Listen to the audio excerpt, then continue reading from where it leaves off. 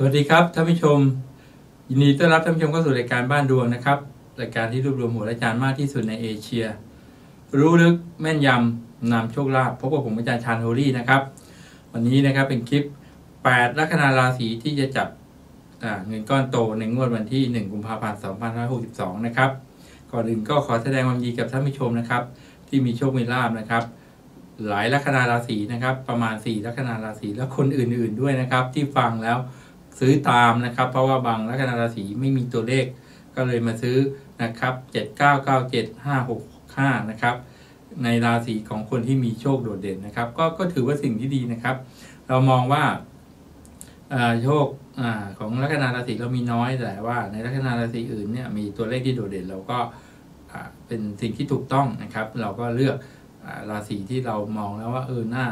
น่าจะมีโชคนะครับ เราก็ซื้อตามเพื่อนนะครับ ตามคนที่ลัคนาราศีที่ดวงดีๆ เราก็มีโชคเหมือนกันนะครับ ก็ออกทั้งเลขท้าย 3 ตัวรางวัลที่1นะครับ079 แล้วก็เลขท้าย 2 ตัวนะครับ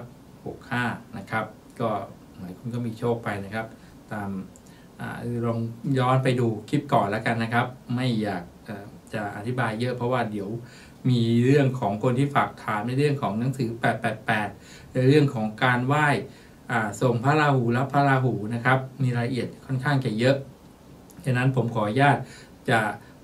ไม่ทบทวนนะครับว่าราศีไหนบ้างนะครับ ที่หลาย ๆ ท่านมีโชคมีลาบกันนะครับ ในตัวเลข 79 แล้ว 97 แล้วก็ 6556 นะครับเอาเป็นว่าถ้าท่านมีโชคมีโชคมีลาบก็คอมเมนต์มาใต้คลิปนิดนึงครับ เป็นกำลังใจให้กันนะครับ ก็มาคุยกันถึง 8 ลัคนาราศีนะครับที่ ให้โชคให้ลาบนะครับ ในงวดวันที่ 1 กุมภาพันธ์นี้นะครับ เรามาดูกันนะครับณตำแหน่งดาวนะครับในวันที่ 1 กุมภาพันธ์นะครับ ราศีเมษนะครับ ก็จะมีดาวมฤตยูนะครับเป็นดาวจรย้ายเข้ามานะครับ ส่วนในดาวเกษตรนะครับ หมายถึงดาวเจ้าเรือนของราศีเมษก็คือดาวอังคารนะครับ อยู่ภพข้างในนะครับดาวพระราหูนะครับ ก็ จะอยู่ในราศีกรกฎดาวเจ้าเรือนเกษตรก็คือดาวจันทร์นะครับ เลขสองอยู่ข้างในนะครับ แล้วก็มีดาวอยู่ที่ราศีพิจิก ราศีพิจิกเนี่ย ก็มีราศีพิจิกเนี่ยก็จะมีเขาเรียกว่า ดาวเจ้าเรือนเกษตรคือดาวอังคารนะครับ เลขสามราศีธนูนี่มีดาวย้ายเข้าไปเยอะมากเลยนะครับ ในวันที่หนึ่งกุมภาก็จะมีดาวจันทร์เลขสองดาวเสาร์เลขเจ็ดนะครับ แล้วก็ดาวพระเกตเลขเก้านะครับ แล้วก็ดาวศุกร์เลขหกนะครับส่วนราศีมังกรก็จะมีดาวอาทิตย์เลขหนึ่งดาวพุธเลขสี่ราศีมีนก็จะมีดาวอังคารเลขสามนะครับ ก็ ดาวพิจิกอ่าราศีพิคัดกี่วงข้ามไปนะครับ ก็คือราศีธนูเนี่ยก็จะมีดาวพฤหัสนะครับ เลขห้าเนี่ยเป็นดาวเจ้าเรือนเกษตร ส่วนราศีมังกรเนี่ยก็จะมีดาวเสาร์นะครับ เลขเจ็ดเป็นดาวเจ้าเรือนเกษตร ส่วนใน ราศีมีนเนี่ยนะครับ ก็จะมีดาวพฤหัสบดีนะครับ เลขห้าเป็นเจ้าเรือนเกษตรนะครับ ก็ตอนนี้เรามาดูนะครับลัคนาราศีแรกนะครับลัคนาราศีแรกอันนี้แล้วกันนะครับหนึ่งผมขออนุญาตวงไว้นะครับท่านชมเห็นด้วยดูนะครับ ก็คือลัคนาราศีเมษท่านผู้ชมที่เพิ่งเคยเปิดเข้ามาดูผมครั้งแรกนะครับ ผมจะทำนาย เป็นลัคนาราศีโดย วันเดือนปีเกิดเวลาเกิดและที่อยู่นะครับสำหรับท่านที่ยังไม่ทราบก็ลองต้องไปเช็คหาก่อนว่าตัวเองนอกจากเป็นชาวราศีแล้วเนี่ยเกิดออยู่ในตำแหน่งลัคนาราศีอะไรนะครับลัคนากับราลัคนาราศีกับราศีนี่แตกต่างกันที่เวลาเกิดนะครับลัคนาราศีเมษเนี่ยนะครับพบ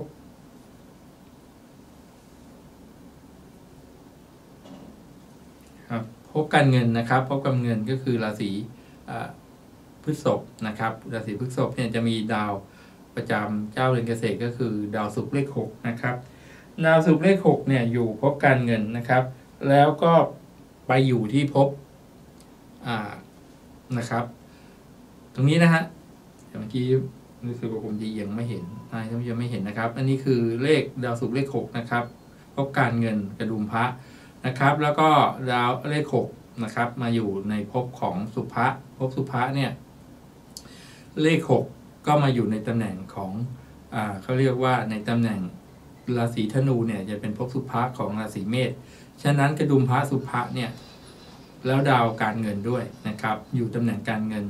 ไปอยู่ภพสุภะทำให้เลขหกกลับมาโดดเด่นอีกครั้งหนึ่งนะครับ เลขหกโดดเด่นนะครับ แล้วก็ ยังมีเลขแปดนะครับอยู่ในเลขแปดนะครับซึ่งเป็นดาพะราหูนะครับ ยังอยู่ในภพของราพะนะครับภพราพะจะมีเลขแปดอยู่ ก็สรุปว่า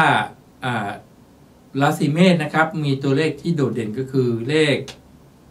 เลขหกดาวศุกร์นะครับ เพราะว่าอยู่ในภพกระดุมพระแล้วก็ยังอยู่ในภพสุภะด้วยนะครับนั้นให้ชาวลัคนาราศีเมษเนี่ยเอาเลขหกเป็นตัวตั้งนะครับ เลขหกเป็นตัวตั้ง ส่วนในภพของตัวคุณเองลัคนาราศีเมษเนี่ย มีดาวมิตยูอยู่นะครับ ฐานดาวประจำเกษตรของคุณเนี่ย เป็นดาวอังคารเลขสามก็ใช้เอาหกจับกับศูนย์กับสามแล้วกันครับหกศูนย์หกสามหกศูนย์ศูนย์หกหกสามสามหกนะครับ แล้วก็ในภพละพระเนี่ยมีเลขแปดอยู่นะครับ เลขแปดอยู่ในภพนี่ราศีกุมเนี่ยเรามองเรามองไม่เห็นนะครับ อยู่เรือนเจ้าเรือนเกษตรข้างใน ผมแถมอีกคู่หนึ่งแล้วกันนะครับ แปดศูนย์ศูนย์แปดนะครับ ต่อมานะครับ ลัคนาราศีพฤษภนะครับ ลัคนาราศีพฤษภเนี่ย เจ้าเรือนเกษตรคือดาวศุกร์เลขหกนะครับ แล้วก็มีพบกระดุมพระการเงินก็คือเลขสี่อยู่ราศีมิถุนนะครับ แต่ว่าในส่วนของอาภพละพะเนี่ยจะมีดาวอังคารอยู่ ราศีมีนราศีมีนเนี่ยมีดาวพฤหัสบดีเลขห้านะครับเป็นเจ้าเรือนเกษตรนะครับกลายเป็นคู่ห้าสามนะครับแล้วก็ในภพสุภาเนี่ยเป็นคู่หนึ่งสี่นะครับหนึ่งสี่สรุปแล้วนะครับก็คืออชาวลัคนาราศีพฤษภเนี่ยนะครับ ก็มีภพกระดุมพระมีเลขสี่อยู่ข้างในนะครับ ตรงกับเมื่อกี้นะครับภพสุภะก็มีเลขสี่ที่ นะครับเป็นดาวจรย้ายเข้ามานะครับฉะนั้นเลขสี่ก็จะโดดเด่นขึ้นมานะครับ เอาเลขสี่ตั้งนะครับ เลขสี่ตั้งนะครับพบราศีพฤษภนะครับ ก็จะได้หนึ่งสี่สี่หนึ่งนะครับหนึ่งสี่สี่หนึ่งส่วนในภพละพะมีสามีห้านะครับ ได้หนึ่งสี่หนึ่งหนึ่งแล้วเนี่ยเลขเลขสี่เด่นใช่ไหมครับ ก็ห้าสี่สี่ห้านะครับ หรือห้าสามสามห้าอีกคู่หนึ่งนะครับหนึ่งสี่สี่หนึ่งสี่ห้าห้าสี่ห้าสามสามห้านะครับ ต่อมานะครับ ราศีมิถุนนะครับ ลัคนาราศีที่สามแล้วนะครับ ลัคนาเม ลัคนาราศีมิถุนนะครับ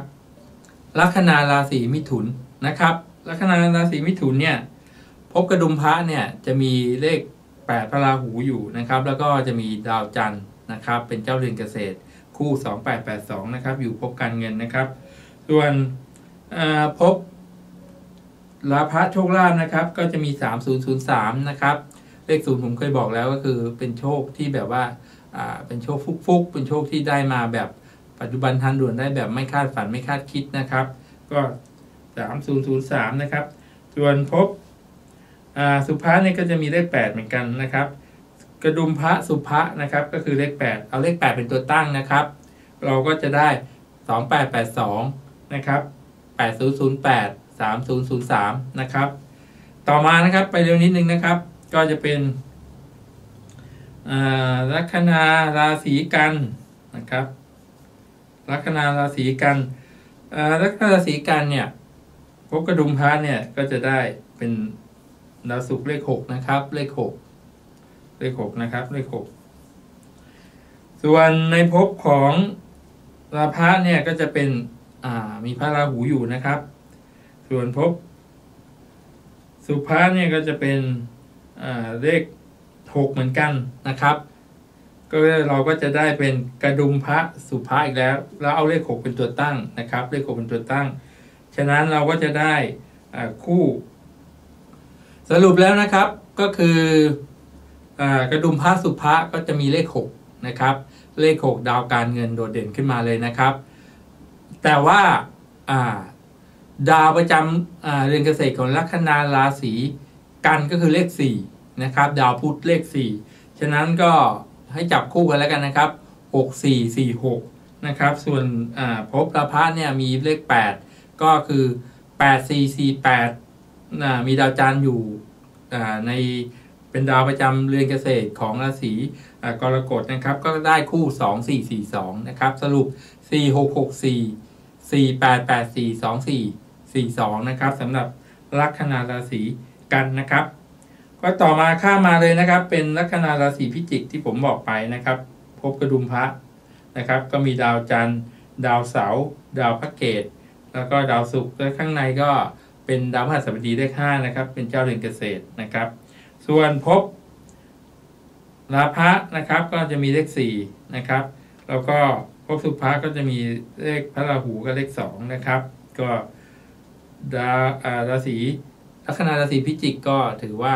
เป็นลัคนาราศีหนึ่งที่จะมีโอกาสที่จะจับเงินก้อนโตนะครับ แล้วก็ในช่วงนี้ ผมมองว่าราศีพิจิกนี่จะมีโชคมีลาบนะครับ ตัวเลขนะครับเดี๋ยวตั้งไว้ก่อนนะครับ มีเลขห้านะครับ ย้ายเป็นดาวจรมานะครับ ในราศีพิจิก แล้วก็พบกระดุมพระเนี่ยมีเลขห้าเป็นเจ้าเรือนเกษตร เอาเลขห้าตั้งแล้วกันนะครับ เราก็จะได้คู่ห้าสองนะครับสองห้านะครับ แล้วก็ห้าเจ็ดเจ็ดห้าห้าสามสามห้านะครับห้าสองสองห้าห้าสามสามห้าห้าเจ็ดเจ็ดห้านะครับ ลัคนาราศีพิจิก ขอให้จับเงินก้นโตนะครับ ต่อมาก็คือลัคนาราศีธนูครับ ลัคนาราศีธนู นะครับ ก็มีพบกระดุมพระก็จะมีดาวอาทิตย์เลขหนึ่งดาวพุธเลขสี่นะครับ แล้วก็ในส่วนของอาภพราพะก็จะมีดาวศุกร์เลขหกแล้วก็ในส่วนของอาภพสุภะนะครับ ก็จะมีาดาวที่เลขหนึ่งนะครับ เป็นเจ้าเรือนเกษตรในราศีสิงห์ก็เท่ากับว่าอ่ากระดุมพระสุภะคือเลขหนึ่งเอาเลขหนึ่งตั้งนะครับราศีธนูเลขหนึ่งตั้งนะครับ เราก็จะได้หนึ่งสี่สี่หนึ่งนะครับหนึ่งหกหกหนึ่งนะครับสองคู่แล้วกันนะครับหนึ่งสี่สี่หนึ่งหนึ่งหกหกหนึ่งนะครับ ต่อมาก็คือลัคนาราศีกุมนะครับเจ็ดแล้วนะครับหนึ่งสองสามสี่ห้าหกเจ็ดนะครับลัคนาราศีที่เจ็ดคือลัคนาราศีกุมนะครับ ก็จะมีาดาวอังคารเลขสามนะครับ อยู่ในภพกระดุมพระ แล้วก็มีเจ้าเรือนเกษตรในราศีมีนคือดาวพฤหัสบดีเลขห้านะครับ คู่นี้บอกไปเลยนะครับห้าสามสามห้านะครับ ส่วนพอ่าราพะนะครับของราศีกุมก็จะมีดาวพฤหัสบดีเป็นคู่ในอยู่แล้วนะครับ แล้วก็จะมีเลขเยอะมากเลยนะครับ รวมถึงจะมีภพสุภะเป็นเลขหกนะครับ คู่ห้าหกออกไปแล้ว งั้นผมขอเป็นห้าสามสามห้าห้าสองสองห้าห้าเก้าเก้าห้านะครับ มาถึงลัคนาราศีสุดท้ายนะครับลัคนาราศีที่ 8 แล้วนะครับ ที่จะจับเงินก้อนโตก็คือลัคนาราศีมีนนะครับลัคนาราศีมีนพบการเงินกระดุมพระมีดาวมิตยูอยู่ เจ้าเรือนเกษตรเป็นดาวอังคารเลขสามนะครับ แล้วก็พบราพะก็จะมีดาวอาทิตย์เลขหนึ่งดาวพุธเลขสี่นะครับ ส่วนพบสุภาเนี่ยจะมี เลขห้าดาวการเงินแล้วก็ดาวอังคารอยู่ฉะนี้สังเกตให้ดีนะครับก็คือเอ่อ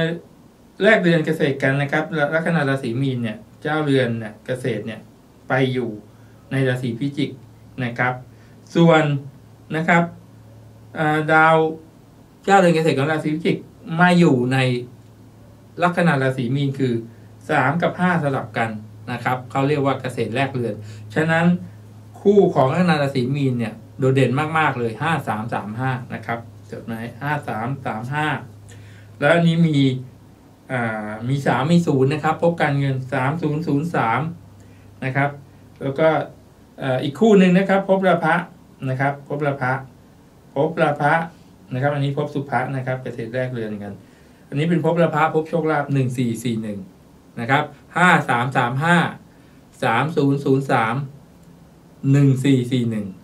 ครบแล้วนะครับ ทั้งแปดลัคนาราศีนะครับ ก็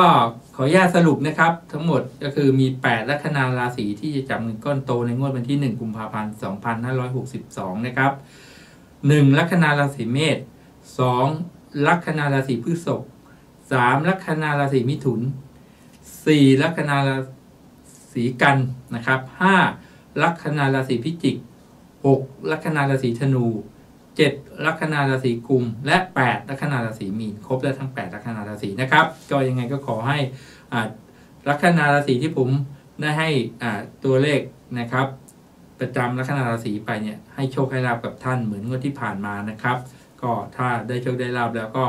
คอมเมนต์มาใต้คลิปกันด้วยนะครับ ก็ตอนนี้ก็จะขอใช้เวลาสักช่วงหนึ่งนะครับในการอธิบายสำหรับสมาชิกที่ ได้แอร์ไลน์เข้ามาคุยกันแล้วอยากได้กระเป๋าเรียกทรัพย์รับโชคนะครับ ก็มีหลายสีนะครับ สีเขียว สีแดง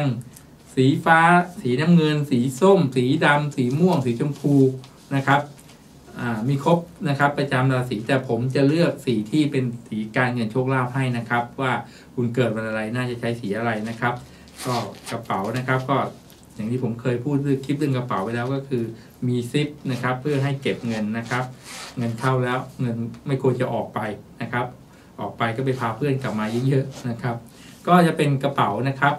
แล้วของผู้ชายก็มีนะครับของผู้ชายก็ของผมก็จะมีกล่องใส่ให้อย่างดีนะครับ ก็จะมีตัวคลิปติดอย่างดีเพื่อเป็นเคสเหมือนกันนะครับ ในกรณีที่เงินเข้ามาก็มีหลากหลายสีนะครับ สีแดง สีน้ำตาล สีครีมนะครับ สีดำมีหลากหลายสีนะครับสำหรับที่ท่านที่เข้ากระเป๋าเรียกทรัพย์รับโชคไปเนี่ยนะครับ ในช่วงจุดจีนนะครับ ผมก็นอกจากจะมีเงินขวัญถุงนะครับใส่ให้ไปแล้วเนี่ยผมก็จะมีซองแต่เอียรึ่งเดียวก็รุนดูนะครับว่าในซองจะมีเงินมงคลเนี่ย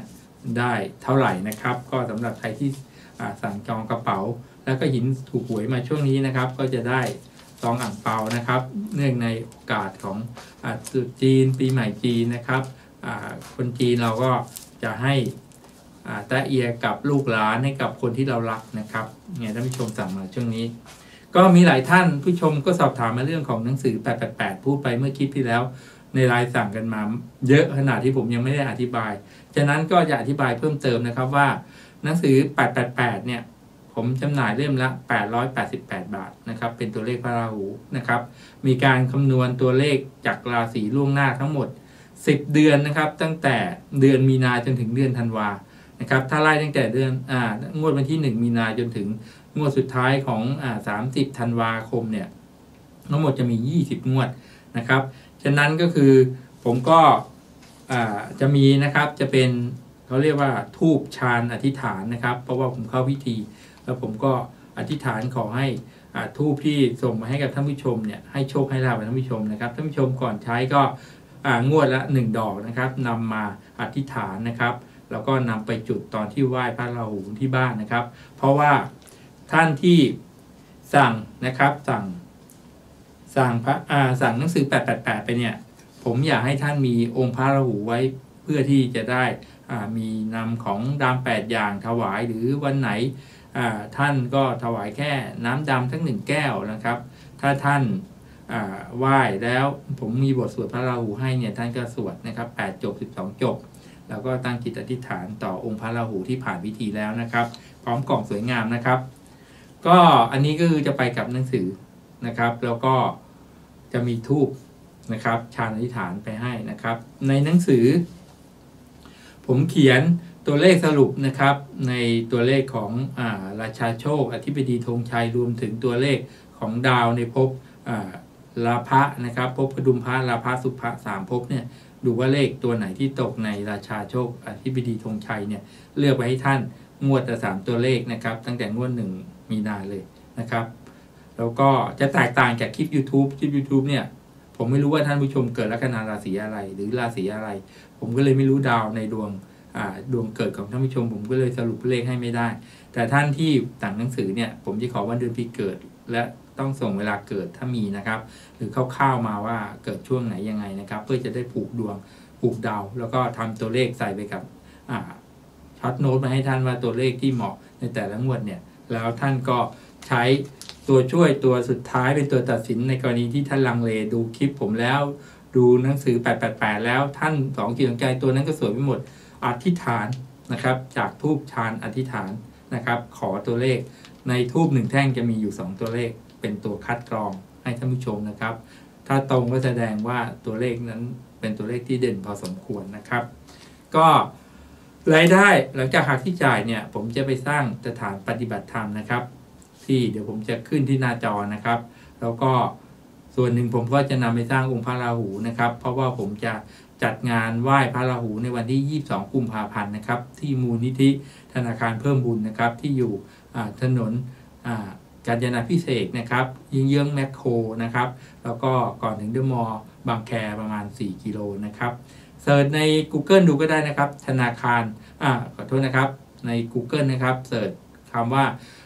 มูลนิธิธนาคารเพิ่มบุญนะครับเขาก็จะมี Facebook มีเพจนะครับแล้วส่วนท่านที่อาจจะ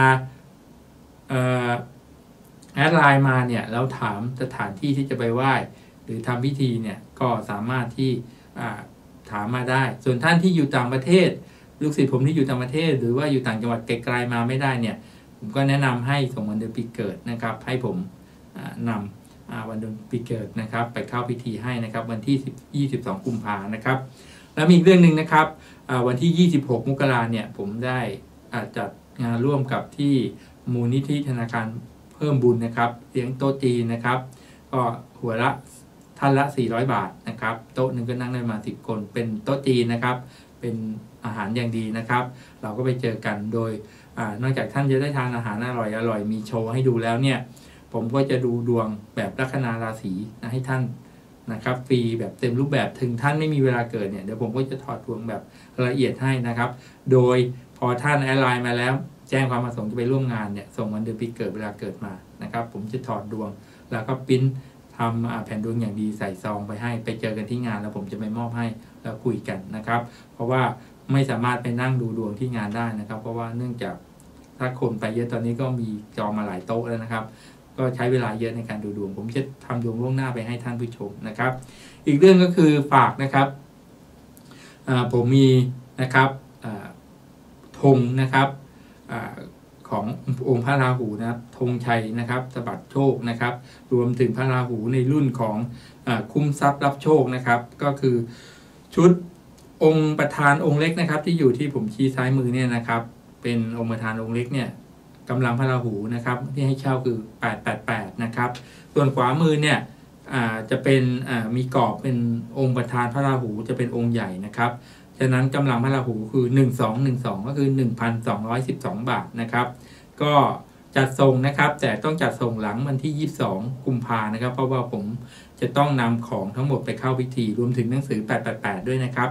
ท่านที่สั่งนะครับ ก็ส่งวันเดือนปีเกิดให้ผมไปเข้าพิธีแล้วจะจัดส่งให้นะครับนำไปบูชา หลังจากได้รับแล้วก็สามารถที่จะบูชาพระราหูที่บ้านได้ด้วยตัวเอง ส่วนเคล็ดลับต่างๆ เดี๋ยวผมจะจัดคลิปเต็มๆหนึ่งคลิปเลยเล่าให้ฟังว่า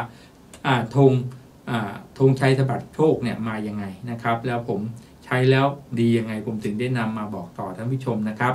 รายได้หักที่จ่ายแล้วนะครับ ผมจะนำไปสร้างสถานปฏิบัติธรรม แล้วก็สร้างองค์พระราหู ขอบพระคุณท่านผู้ชมสองสามท่านนะครับ ที่เป็นลูกศิษย์ที่อยู่ต่างประเทศนะครับ โอนเงินมาช่วยผมสร้างองค์พระราหู เดี๋ยวผมจะสลักชื่อท่านผู้ชมนะครับ ที่บริจาคร่วมกันทำบุญนะครับสร้างองค์พระราหูนะครับแล้วผมจะเขียนชื่อไว้ที่องค์พระราหูองค์ประธานนะที่ผมสร้างนะครับ ขนาดนะครับเมตรยี่สิบเซนตอนแรกจะสร้างร้อยประมาณคัดแรกตั้งใจจะสร้างประมาณ3เมตร50นะครับ ก็คืออขนาดองค์ใหญ่นะครับ แต่ว่าเนื่องจากเวลากระชั้นชิดเหลือเวลาเดินกว่าช่างบอกกลัวจะทำไม่ทัน ก็เลยใช้กำลังพระราหูที่หนึ่งเมตรยี่สิบเซนคือลงด้วยเลขสิบสองนะครับ เพราะว่าถ้าสร้างองค์แปดเมตรเนี่ย ไม่ทันจริงๆนะครับ ก็ปีนี้ผมต้องการที่จะจัดนะครับไหว้ครูบาอาจารย์ของผมซึ่งเป็นองค์พระราหูที่ผมให้ความเคารพศรัทธานะครับ ในวันที่ 22 กุมภายังไงท่านผู้ชมนะครับ ที่สนใจก็แอดไลน์เบอร์ที่ขึ้นหน้าจอนะครับ แล้วก็สอบถามรายละเอียดเพิ่มเติมมาได้นะครับ ส่วนรายละเอียดต่างๆ เดี๋ยวผมจะจัดคลิปในเรื่องของอการทำพิธีต่างๆ ว่าเรามีความพิเศษยังไง นะครับในวันที่ 22 กุมภาแล้วท่านที่จะไปร่วมงานจะได้อะไรบ้างนะครับ ในความเป็นมงคล ในงานวันที่ 22 เนี่ยเราจัดบวงสวงบวงสวงใหญ่ตั้งแต่เช้ายันมืดเลยแล้วในงานก็จะมีเหยียบไฟรักษาโรคจะดูดวง แล้วก็ช่วงเย็นค่ำๆเนี่ยเราก็จะมีการไหว้นะครับนำไหว้องค์พระราหูนะครับออยู่ในช่วงพิธีตอนกลางคืนช่วงเช้าเราก็บวงสวงใหญ่นะครับให้กับเทพ เทวดาทั้ง 16 ชั้นฟ้า 15 ชั้นดิน 14 ชั้นบาดาลจัดงานเต็มวันนะครับ จัดงานยิ่งใหญ่มากนะครับ ที่มูลนิธิธนาคารเพิ่มบุญนะครับ เดี๋ยวรายละเอียดผมจะค่อยๆทยอยนะครับ วันนี้ใช้เวลาท่านผู้ชมไปเยอะแล้วนะครับก็ขอแสดงความดีกับท่านผู้ชมที่มีโชค มีลาภขออวยพรให้ท่านผู้ชมนะครับ แค่ท่านคิดที่จะบูชาพระราหูงวดวันที่หนึ่งซึ่งพระราหูเริ่มท้องแก่มีกำลังเนี่ยขอให้เลข 8กำลังพระราหูเนี่ย